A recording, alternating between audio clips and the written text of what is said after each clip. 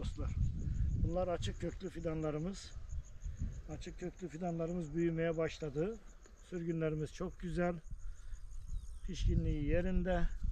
İnşallah bunların hepsi e, satışa hazır hale gelecek ve güzel e, ağaçlarımız olacak. Sizinle fidanlığı gezelim.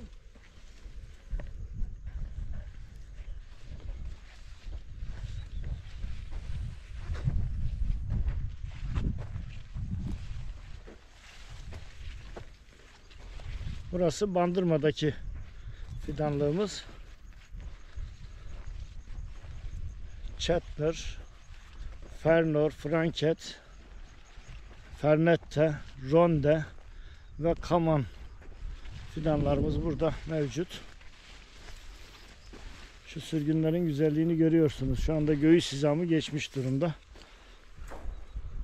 Bazıları boyuma da gelmiş.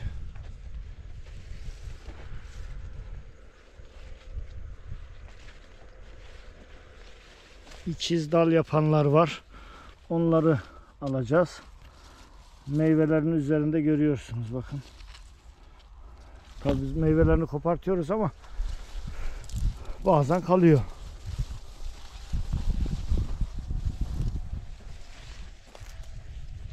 Evet, ikiz dalları alacağız.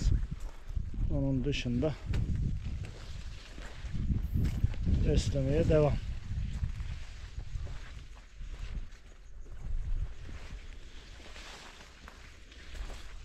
Evet arkadaşlar.